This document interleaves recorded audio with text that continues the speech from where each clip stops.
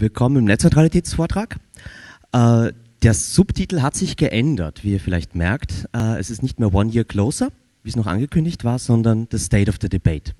Wie gesagt, der Vortrag heute ist ein bisschen eine Fortsetzung zu dem von der DNP 12. Deswegen gibt es auch nicht so viel Einführung in das Thema selbst diesmal. Trotzdem werde ich aber jetzt trotzdem noch kurz erklären, was Netzneutralität ist. Im Kern ist Netzneutralität das Ende-zu-Ende-Prinzip. Das heißt, dass wir mit jeder Hardware und jeder Software jeden Dienst und jedes Protokoll nutzen können, ohne dass irgendjemand in der Mitte, also im Netzwerk, mitredet oder entscheidet, irgendwas blockiert, verlangsamt oder beschleunigt. Das ist ein neutrales Netz und das führt zu einer Gleichbehandlung im Netz von allen Ideen. Ähm, das ist einerseits, wenn man sehr kapitalistisch denkt, der perfekte Markt, weil alle Angebote gleichberechtigt sind und nur die Nutzer entscheiden. Gleichzeitig ist es etwas sehr Kommunistisches, weil alle sind gleich. Hat nur Vorteile, könnte man denken, und es sollte eigentlich jeder dafür sein.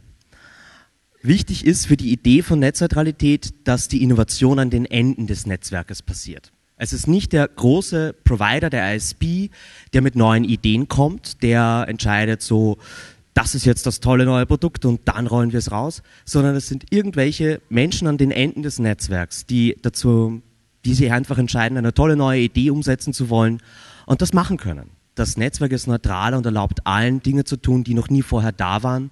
Es ist trotzdem dieselbe Infrastruktur, die sie verwenden können. Das ist unsere Kampagne, unser Netz.at. Da findet ihr inzwischen einen Haufen an Informationen zu dem Thema. Wir aktualisieren diese Homepage wirklich regelmäßig und vor allem in den äh, Dokumenten und Ressourcen findet ihr wahnsinnig viel von unserer Arbeit.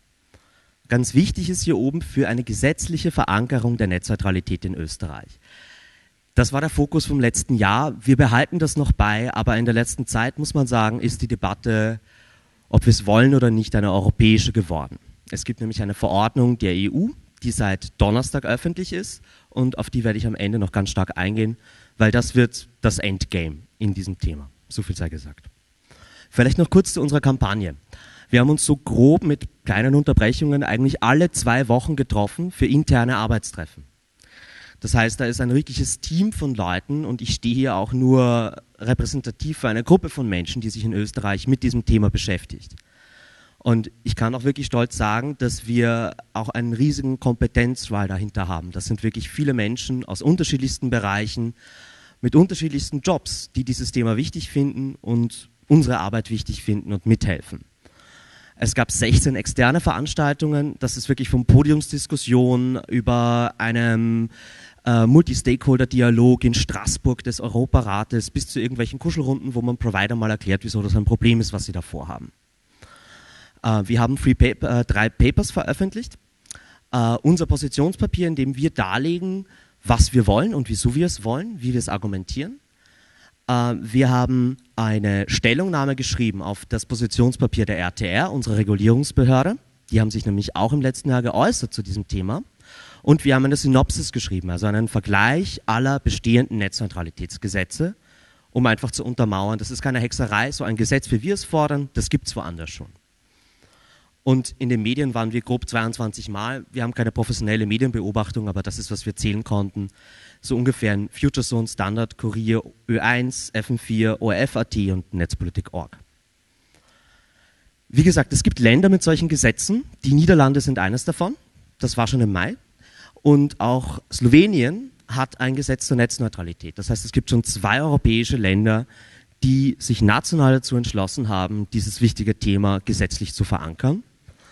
So viel aber zum Rechtlichen. Jetzt kommen wir ein bisschen zum Technischen. Die Leute, die schon beim letzten Jahr da waren, kennen das noch. Das ist netneutralitymap.org. Das ist ein Projekt von uns, in dem visualisieren wir ähm, eine Art von Verstoß von Netzneutralität. Da geht es nur um protokollspezifisches Diskriminieren. Also wenn ein Provider sagt, BitTorrent ist langsamer als das normale www oder wir wollen, dass äh, Flash-Videos langsamer ausgeliefert werden in unserem Netz. Das messen wir hier und das visualisieren wir hier. Und wir sehen in den zwei Grafiken, oben ist das letzte Jahr vom letzten Vortrag und hier unten, sogar auf BitTorrent gefiltert, sehen wir, es ist viel grüner geworden. Wieso? Hier, das ist eine extra Auswertung, die wir für diesen Vortrag gemacht haben. Das protokollspezifische Verlangsamen wird weniger. Der Trend geht eindeutig zum anbieterspezifischen Priorisieren. Das heißt, es ist nicht mehr der Fall, dass ein Provider einfach sagt, ich will, dass mein Netzwerk nicht verstopft ist, ich will nicht ausbauen, aber ich habe so viele BitTorrent-Nutzer in meinem Netz, deswegen verlangsame ich BitTorrent. Von dem kommen sie immer mehr ab. Da gab es einen großen Aufschrei, das traut sich heutzutage kein ISP mehr. Aber was wir im zunehmenden Maße sehen, ist, dass man dann so einen Deal macht mit Spotify oder mit irgendeinem TV-Anbieter und von denen Geld verlangt oder von seinen Kunden Geld verlangt dafür, dass dieser Service prioritär behandelt wird. Das heißt, da wird auf einmal das etwas, was vorher so eine Praxis war, um den eigenen Netzausbau zu reduzieren, ein neues Geschäftsmodell. Und das ist der Kern der Debatte, wo wir heute sind. Das sieht man auch sehr gut, wenn man unseren Zahlen nicht glaubt, obwohl sie alle Open Data sind und nachprüfbar. Das hier sind Zahlen von BEREC. BEREC ist das Gremium der europäischen Regulierungsbehörden. Also in Österreich gibt es die RTR, das ist die Regulierungsbehörde, die sich bei uns um Internet und Funkfrequenzen kümmert. Und die sind mit allen anderen europäischen Regulierungsbehörden in diesem BEREC, in diesem Gremium und machen da eigentlich recht gute Arbeit. Die haben auch einmal auf Rat der EU-Kommission so eine Erhebung gemacht und hier sehen wir, dass die Hälfte aller Mobilfunknutzer in Europa schon von einer Einschränkung der Netzneutralität betroffen sind. Hauptsächlich noch in ihren Verträgen, weil sie zuerst einmal wird ein Provider die rechtliche Basis schaffen müssen, dass er überhaupt anfängt, in seinem Netzwerk Unterscheidungen einzubauen. Und oft fehlt es ihnen noch an den technischen Mitteln, um diese Dinge dann wirklich zu implementieren. Das ist die Kernsache der ganzen Präsentation. Ähm, das hier ist der Versuch, irgendwie das ganze Thema in einer Grafik zusammenzufassen. Wir haben hier drei Bereiche. Wir haben mal dieses Best Effort Internet. Best Effort heißt, alle Daten werden gleich behandelt. Ich tue mein Möglichstes, um jedes Datenpaket so schnell wie möglich von A nach B zu bringen. Und das ist das echte Internet, das ist neutrales Internet, da wird nichts blockiert, nichts verlangsamt, nichts priorisiert, alle sind gleich. Das ist, was wir haben wollen. Dann gibt es diesen Bereich der Transport- und Dienstklassen. Das ist so dieses Argument, ja, aber wenn mein E-Mail eine Sekunde später ankommt, dann ist mir das wurscht. Aber ich will, dass mein Videostream nicht ruckelt. Das ist ein valides Argument. Das hört man oft so als Totschlagargument für die ganze Debatte, aber das muss es gar nicht sein. Es gibt einen Unterschied zwischen der zeitkritischen Komponente von Diensten. Und für dieses Problem, dass mein E-Mail mir nicht so wichtig ist in der Zeit als mein Videostream oder mein Skype-Gespräch, gibt es drei grobe Lösungen oder Meinungen für dieses Problem. Die Extremmeinung kommt von Barbara von Schewig, einer Deutschen, die in Stanford unterrichtet und ein irrsinnig gutes Buch geschrieben hat, äh, Internet Architecture and Innovation. Und die sagt, wir dürfen gar nicht in irgendeiner Form hier im Netzwerk manche Dienste priorisieren und andere verlangsamen, weil damit verlieren wir das, was das Internet toll und groß gemacht hat, nämlich diese enorme Innovationsfähigkeit, die da drin steckt. Wenn wir anfangen, im Netz Unterscheidungen zu machen, dann verlieren wir dieses Potenzial für neue Innovation und dann verbauen wir die neuen Dienste, die sich noch keiner ausgedacht hat, die aber sicherlich kommen werden in der Zukunft, wie wir es in der Vergangenheit sehen können.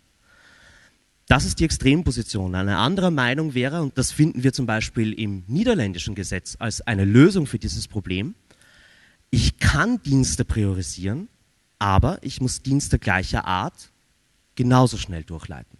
Das heißt, wenn ich Telefonanrufe im Internet priorisiere, dann muss ich alle Telefonprotokolle und alle Anbieter genauso schnell durchleiten. Wenn ich Videostreaming priorisiere, dann muss ich auch alle Videostreaming-Protokolle und Anbieter genauso schnell durchleiten. Das ist eine gute Lösung. Wir haben noch eine dritte, die ist technisch im Moment noch schwierig umzusetzen, aber das wäre wirklich unser Optimum. Und zwar, dass man sagt, meine Applikation entscheidet das. Mein Mail-Client weiß doch, dass er eine Mail verschickt und kann sagen, ja, normales Datenpaket, kümmere dich nicht. Aber mein Skype-Client, mein Mumble-Client, der kann sagen, das ist wichtig, da geht es um was Zeitkritisches und ich setze dieses Priority Flag. Damit haben wir das Ende-zu-Ende-Prinzip gerettet damit entscheidet immer noch die Applikation am Ende des Netzwerkes, wie schnell oder langsam die Daten transportiert werden können. Das wäre unsere optimale Lösung.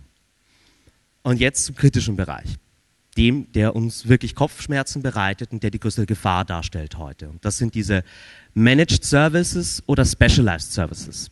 Man hört oft Managed Services, aber ich nenne es lieber Specialized Services. weil es da wirklich um spezielle Dienste geht. Ähm, Beispiele. Man hört oft so, dass diese zeitkritischen Dienste Managed Services sind. Ebenso etwas wie das IPTV oder äh, wie Voice-over-IP oder medizinische Bildgebung wird da als Beispiel genannt. Das sind auch so ziemlich die drei, die meistens kommen, wenn man mit den Kritikern spricht. Es gibt nicht viele gute Beispiele, wofür es solche Managed Services wirklich braucht und wieso es technisch notwendig ist, dass etwas wirklich schneller behandelt wird. Aber das ist die eine Kategorie. Viel kritischer ist es, dass wir in den Managed Services in diesem Bereich auch das äh, haben, was die BWLer in den ISB-Departments gerne Value-Added Services nennen. Das heißt, das sind diese neuen Dienste, über die ich als Internetkonzern nochmal mehr Geld verdienen kann, über die es mir möglich ist, wie wir es auf der nächsten Folge, äh, Folie sehen werden, äh, eben meinen Kunden nochmal extra was anzubieten und ein Produkt zu schnüren, das mich von meiner Konkurrenz abgrenzt und dadurch einfach ganz neue Geschäftsmodelle möglich macht. Und der Kern der Debatte liegt in der Definition von diesen Specialized Services. Was darf da reinfallen und was nicht?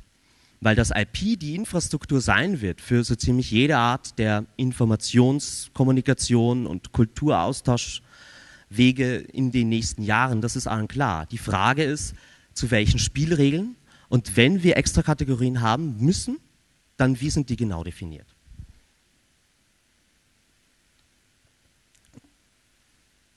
Ich bringe das jetzt hier noch, weil wir hier noch dieses Bild haben.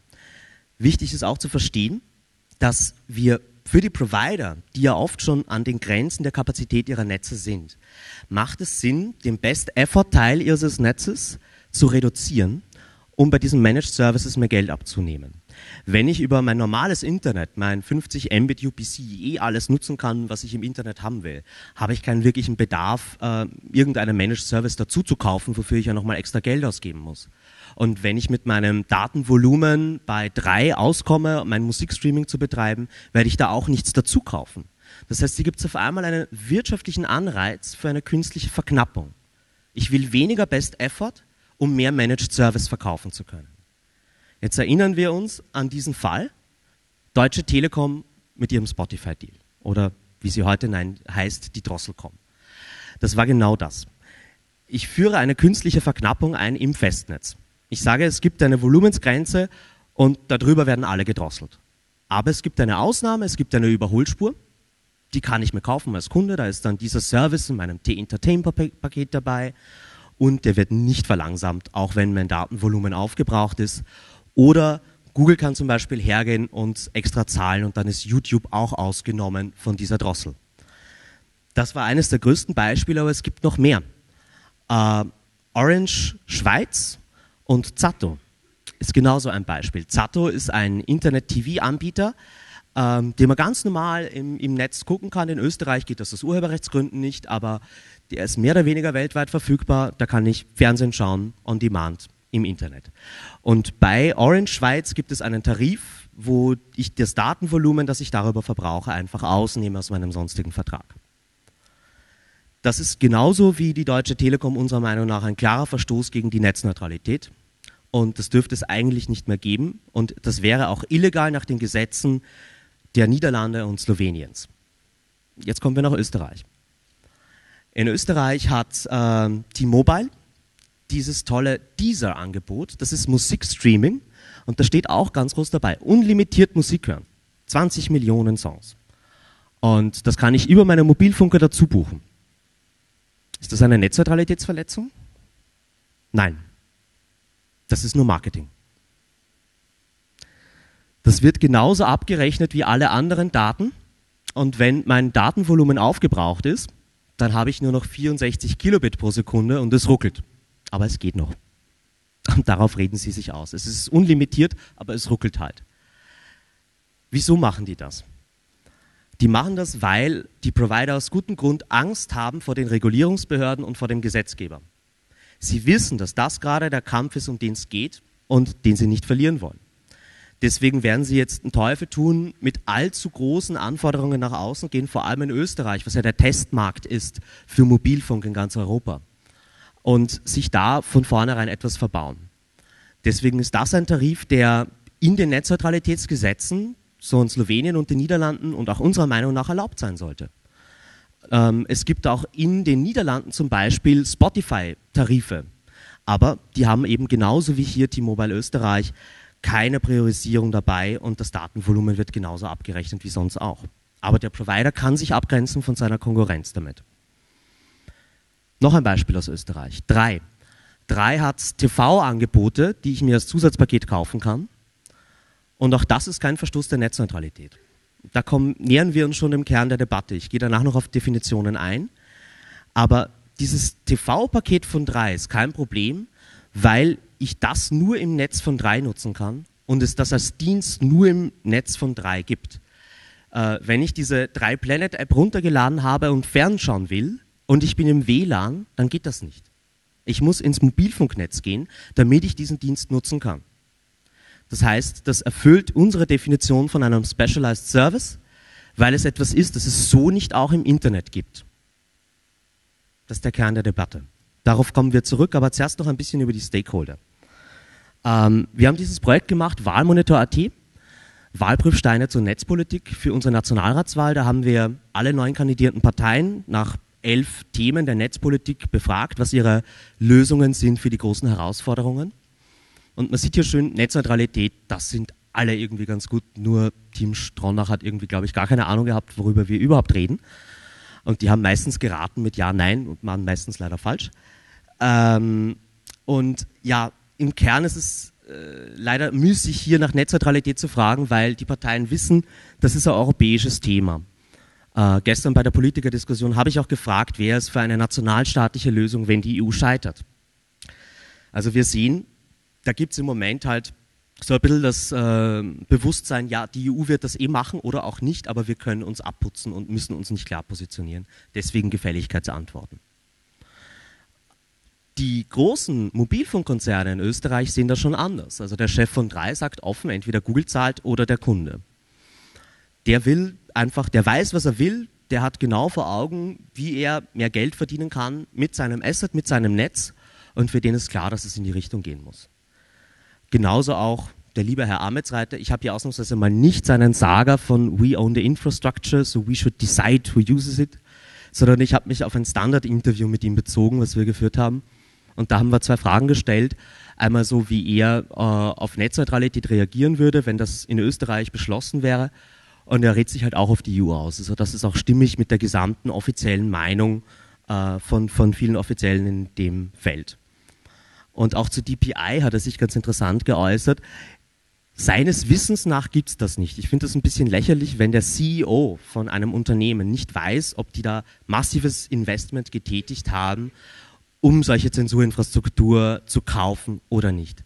Das wird er wissen, aber er will es halt nicht sagen. Anderes Beispiel, um das abzuschließen, ist UPC. Uh, äh, UPC ist ja in Österreich nur eine Tochter eines internationalen Konzerns von Liberty Global und die äußern sich im nationalen Diskurs überhaupt nicht zu dem Thema. Also die haben Maulkorb davor und das wird von der internationalen Konzernzentrale gesteuert, dieses Thema. Die bringen sich auch massiv in Brüssel ein, aber die machen eben national nichts. Die Arbeiterkammer als Konsumentenschutzorganisation warnt schon vor dem neuen Vorschlag der EU-Kommission und meint, das kann es nicht sein, äh, zwei Klassen Internet ist schlecht für die Konsumenten. Da haben Sie recht.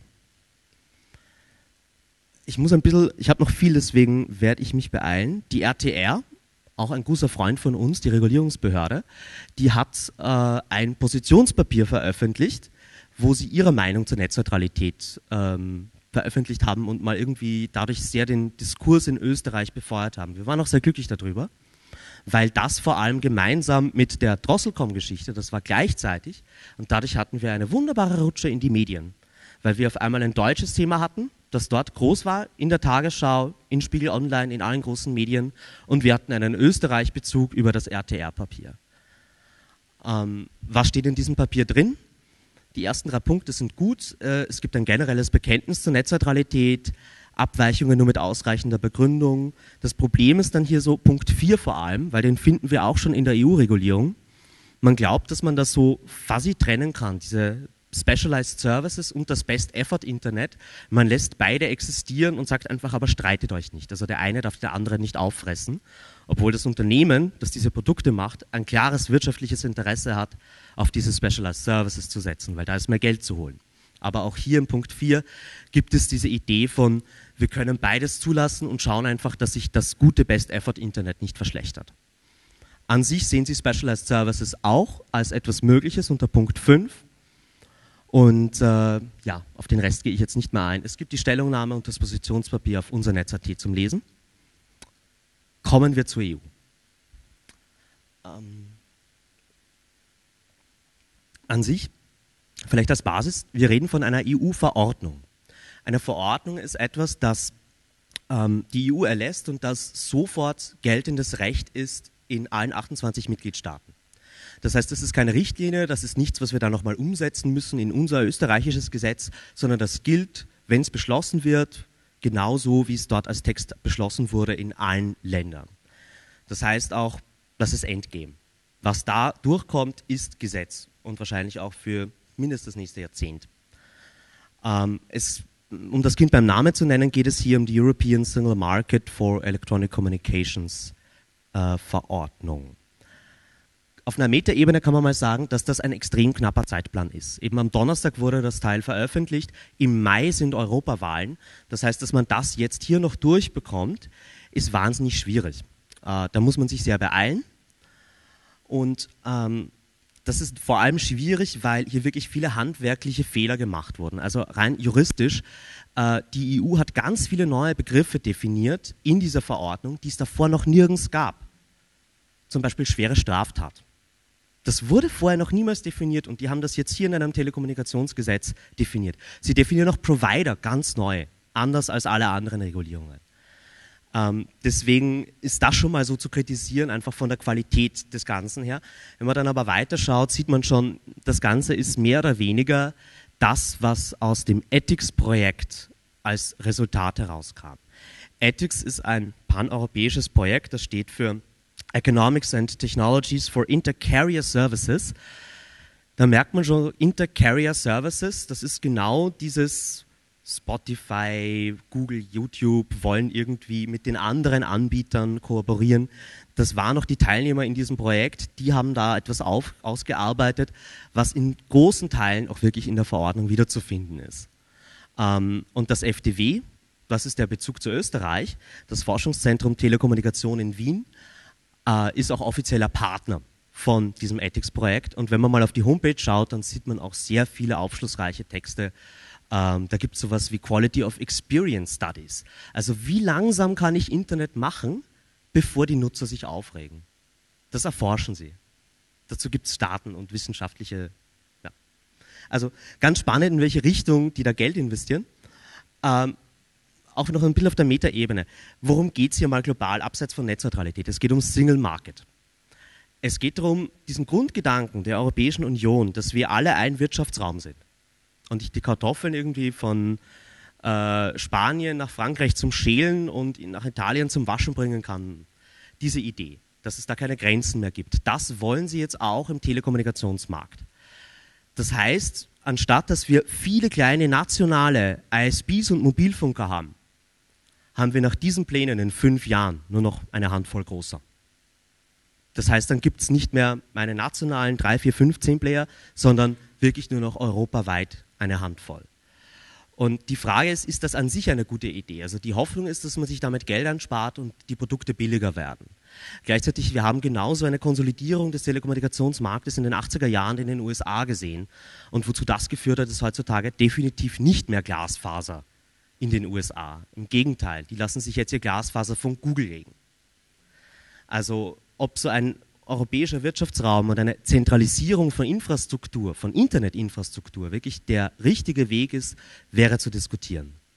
Aber kommen wir zurück, kommen wir zu diesem äh, EU-Verordnungspaket, was mich zumindest die nächsten neun Monate ganz viel beschäftigen wird. Äh, Nelly Cruz hat einen sehr guten Schachzug gewählt. Sie hat nämlich zwei Themen miteinander verknüpft das eine ist Roaming, das andere ist Netzneutralität. Roaming ist das tolle EU-Thema, was jeder versteht. Äh, damit haben sich andere Kommissarinnen schon sehr beliebt gemacht in der Bevölkerung, weil das Abschaffen von Roaming ist, was das die Leute verstehen. Da bekommt man sie. Das ist was, was vor allem in einem EU-Wahlkampf wunderbar funktioniert für europäische Parlamentarier, die ihren Job behalten wollen. Wenn sie am Ende ihrer Amtsperiode oder bevor sie wiedergewählt werden wollen, noch so etwas verabschieden können. Und dass da auch Netzneutralität mitgeregelt wird, fällt vielleicht niemandem auf. Das ist in der Kommunikationsstrategie für uns das große Problem, dass wir diese zwei Dinge voneinander trennen müssen. Gehen wir mehr auf die Verordnung ein. Äh, es gibt auch gute Punkte, lustigerweise gute Punkte, die wir auch in unserem Positionspapier schon so drinnen hatten. Ähm, vielleicht am spürbarsten für, für alle, es gibt nicht mehr nur Maximalbandbreiten, also bis zu 7 Mbit, sondern es gibt auch Minimum- und Durchschnittswerte. Das heißt, Sie müssen angeben, wenn alle im Haus gerade BitTorrent machen, wie viel geht dann durch meine Leitung durch? Und was ist das statistische Mittel, was ich mit dieser Internetleitung an diesem Standort rausbekomme? Auch das müssen Sie angeben hier. Und das wären komplett neue Informationen, die eigentlich schon längst überfällig sind. Genauso müsste es Speedtests geben und äh, die Maßnahmen zur Stauvermeidung sollen offengelegt werden. Also was tut ein Provider, wenn es gerade wirklich so ein Bottleneck gibt? Wie löst er diesen Stau auf? Negativ finden wir aber daran, dass die Informationen zur Marktsituation, dieses Beobachten, ob sich Oligopole rausbilden in diesem neuen Regime, die werden nur in die Kommission weitergegeben und nicht in die Öffentlichkeit. Viel drastischer ist aber der Punkt, dass die Internetprovider wieder einmal zu Hilfs-Sheriffs degradiert werden. Wir haben hier ganz, ganz verrückte Bestimmungen zur Verbrechensbekämpfung und Verhinderung. Ist ein bisschen eine Sollbruchstelle und ich finde es immer noch unfassbar, dass die Kommission sich das getraut hat. Wir haben hier als erste Ausnahme der generellen Gleichbehandlung aller Daten im Internet diese Bestimmung, dass ich Netzneutralität aushebeln darf, wenn ich eine rechtliche Bestimmung implementiere eine rechtliche Bestimmung. Das kann sowas sein wie Internetzensur oder Three Strikes. Ähm, findet sich auch als solches im niederländischen Gesetz, muss man dazu sagen. Ähm, das Implementieren einer, ähm, eines Gerichtsbeschlusses, das haben wir auch im slowenischen Gesetz drinnen, ähm, was auch legitim ist, glaube ich, muss man so hinnehmen. Aber der letzte Punkt, der ist neu, den gab es weder im niederländischen noch im slowenischen Gesetz, nämlich dieses Prevent or Impede Serious Crime also das Verhindern oder Erschweren von Straftaten. Was ist das Erschweren von Straftaten? Das ist, du linkst auf Pirate Bay, damit müsstest du ja eigentlich schon so ein bisschen die Straftat vor, Vorschub leisten. Das heißt, auch das Linken auf illegalen Content könnte damit schon zu Sperrlisten führen. Also vor allem dieses nicht nur Verhindern, sondern auch Erschweren von Straftaten ist ein großes Problem. Und eben schon, wie gesagt, Serious Crime wird hier genannt, wird zum ersten Mal verwendet auf EU-Ebene, das ist nirgends sonst definiert. Wir kennen das aber schon von einem anderen lieben europäischen Gesetzeswerk, nämlich der Vorratsdatenspeicherung. Auch dort steht Serious Crime drinnen. Äh, und wir erinnern uns, das war ein Mittel zur Antiterrorprävention. Ja? Aber wofür wird es verwendet? In Österreich wird Serious Crime umgelegt auf Stalking. Für Stalking-Delikte wird in Österreich die Vorratsdatenspeicherung verwendet und das ist genau dasselbe Serious Crime. Und dasselbe, dieselbe Gefahr droht uns auch hier, dass etwas, das ursprünglich als Antiterrormaßnahme und nur für schwere, schwere Straftaten verwendet wurde oder äh, gedacht war, auf einmal auf einer viel breiteren Basis zum Einsatz kommt. Ähm, in dieser selben Doktrin von ISPs als Hilfs-Sheriff ist auch noch was anderes, anderes Lustiges zu nennen. Das ist eigentlich nur noch lächerlich. Es gibt hier auch einen Paragraph, der sagt, Provider müssen Informationen über ihr äh, Informationen von öffentlichen Stellen, hau hauptsächlich wahrscheinlich von Behörden, also von Strafverfolgungsbehörden, an ihre Nutzer weiterleiten. Vor allem eben auch für Copyright Infringements. Also da wird es wahrscheinlich dann äh, vom Provider E-Mails geben, wo drinnen steht, ja und ja nicht auf diese oder jene Website surfen oder da und da gibt es ein Problem im Internet. Aber es gibt eine Informationspflicht, daran müssen sich die Provider halten und die müssen ihre Kunden sozusagen mit diesen Informationen versorgen, die von staatlichen Stellen kommen. Macht aus unserer Sicht ganz wenig Sinn. Zum Kern. Äh, dieses Specialized Service Thema ist für mich so wirklich eine der zentralsten Fragen, mit der wir entweder diese Netzneutralitätsdebatte lösen, sodass wir etwas haben, was für die nächsten zehn Jahre die Offenheit des Internets garantiert, oder wo wir verlieren werden und sich die Struktur radikal verändern wird. Und das Interessante ist, dass hier die Definition von Specialized Services wirklich der Kern der Sache ist. Und ich bringe ein paar Beispiele. Was mir sehr gut gefällt, ist das slowenische Modell. Die definieren in ihrem Gesetz, dass, so wie ich es eingangs schon gesagt habe, was es im, äh, ein Specialized Service darf nicht sein, was es so auch im Internet gibt. Wenn ich mir was Neues ausdenke, wenn ich in meinem Netz IP verwende, um meinen Kunden was anzubieten, dann ist das kein Problem. Aber sobald es ein Dienst ist, der auch so im Internet existiert, habe ich ein Problem. Wenn es das Zato TV ist oder das Spotify Musikstreaming und auf einmal dieser eine Anbieter im Internet einen Vorteil kaufen kann, dann habe ich ein Problem. Wenn ein Provider irgendwas daneben anbietet, sei es drum, das sei ihnen gegönnt.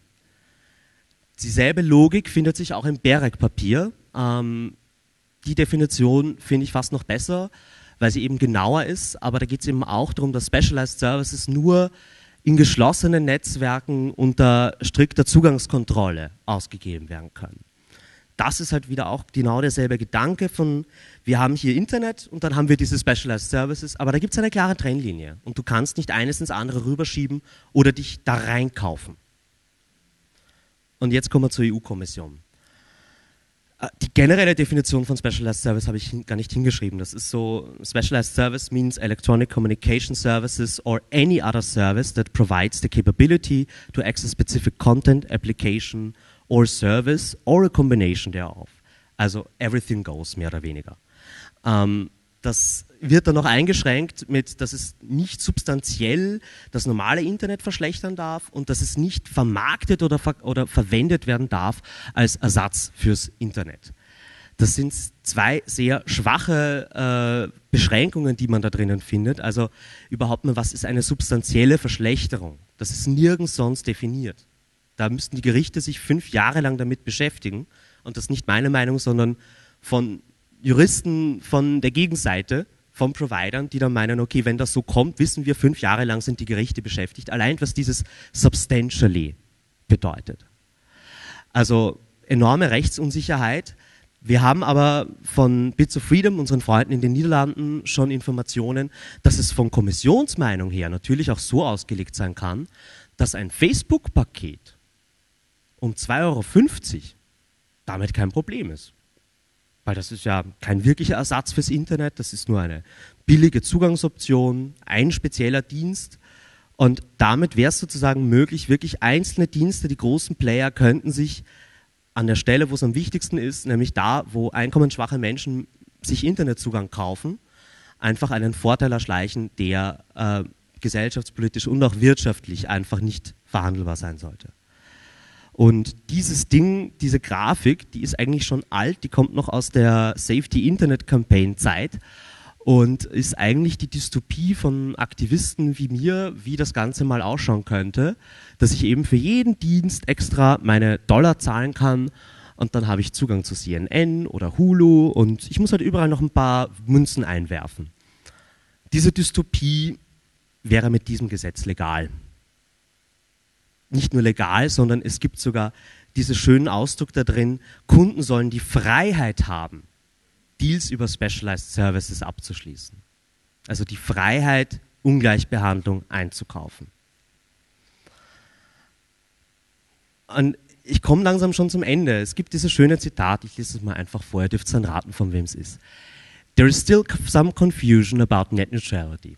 That is not really the definition that I have on net neutrality. The core issue is whether internet access providers or network operators should be able to exercise control or limits user access to any content. For me, when that is done for commercially motivated reasons, that is absolutely a no-go. This is not net neutrality. Wer hat das gesagt? Unsere liebe Nelly Cruz, dieselbe Kommissarin, die genau diese Verordnung am Donnerstag vorgestellt hat. Sie hat das aber gesagt 2010 im ITRE-Ausschuss zu ihrem Amtsantritt. Diese Frau hat mit uns ein Spiel gespielt über ihre gesamte fünfjährige Periode, spielt sie mit uns und versucht, dieses Thema so immer als Karotte hinzugeben. Und sie macht, sagt bei einem Interview das eine und im anderen Interview das komplett andere. Und dieses Spiel haben wir jetzt ganz lange mitgespielt. Jetzt hat sie endlich die Karten auf den Tisch gelegt und die Strategie ist mehr oder weniger klar. Wir haben jetzt noch bis zum Mai Zeit und wir müssen uns durchsetzen gegen eine enorme Lobby, weil an der Stelle hängen einfach wirklich die Interessen der großen ISPs in Europa dran. Die sehen sich als klare Gewinner in diesem Spiel. Und auch die Interessen der großen Content-Anbieter, weil die haben die Möglichkeit damit, ihre Marktposition auf die absehbare Zukunft hin einfach abzusichern. Weil wenn ich so einen Deal mal habe und für jeden Kunden die Default-Option bin, wenn es um Musik-Streaming, Social Networks oder was auch immer geht, dann wird es mit der Konkurrenz ein bisschen schwierig. Deswegen kommt jetzt so ein bisschen der Call to Action und äh, der Aufruf für mehr Aktivismus. Wie gesagt, wir haben Wahlen, auch jetzt nicht nur Ende September, sondern eben im Mai 2014 auch auf EU-Ebene. Und es liegt an uns allen hier in diesem Saal und auch in ganz Europa, dieses Thema zum Wahlkampf zu machen und diese Verordnung zu kippen. Entweder zu kippen oder zu fixen. Das ist die strategische Entscheidung, die jetzt gerade getroffen wird. Können wir das Teil irgendwie retten in der Zeit, die uns bleibt? Oder ist es etwas, das nicht zu retten ist und das abgeschossen werden muss? Wichtig für all diese Dinge sind, wir sind auch nur eine kleine Gruppe von Leuten, die das alles ehrenamtlich tut, was wir tun. Deswegen brauchen wir immer mehr Leute, die zu unseren Treffen kommen, die sich auf die Mailingliste subscriben und aktivierbar sind, wenn es jetzt gerade darum geht, die Abgeordneten anzuschreiben, anzurufen, ihnen Faxe oder Briefe zu schicken und ihnen klarzumachen, wieso das nicht geht. Europäische Parlamentarier haben die interessante Eigenschaft, dass sie einigermaßen gut auf Argumente reagieren. Also da gibt es auch eine reale Chance, dieses Thema umzureißen. Wobei wir uns natürlich gegen Roaming durchsetzen müssen an der Stelle. Und zuletzt will ich auch noch sagen, dass wir alle als netzpolitische Zivilgesellschaft und Vereine auf Spenden angewiesen sind. Zum Betrieb unserer Infrastruktur und vor allem auch für diese ganzen Reisen nach Brüssel, die man für solche Projekte leider machen muss, weil äh, um dort wirklich gehört zu werden, muss man vor Ort sein. Das ist leider nicht aus Österreich machbar. Da muss man vor Ort sein. Gut, ich komme eh auch schon zum Ende. Hier hätten wir jetzt nochmal das europäische Gesetzgebungsverfahren. Aber im Moment ist das noch graue Theorie. Es gibt noch nicht mal Berichterstatter. Also wir sind noch so ganz am Anfang von dieser Spirale. Und äh, ja, aber es zeichnet sich in den nächsten Tagen alles ab. Äh, wer mehr darüber erfahren will, sollte einfach mal zum nächsten Netzneutralitätstreffen kommen. Das wird am kommenden Dienstag sein. Äh, wer auf unser Netz.at geht und sich dort ähm, mal auf die Mailingliste subscribt, kriegt auch eine E-Mail, wann das nächste Treffen ist. Für alle anderen weiteren Fragen, Kommentare und Whistleblowing bin ich jetzt noch hier und da ist meine E-Mail-Adresse. Danke.